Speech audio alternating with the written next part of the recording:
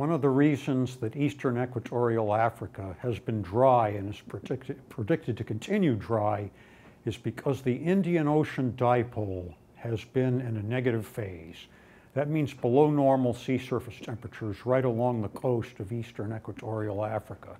However, that's not completely independent of the La Nina. In fact, it often follows a La Nina, and the opposite happens when there's an El Nino. So the two are related to each other. And whether we call it an independent negative Indian Ocean dipole or not, our forecast models do pick up on that.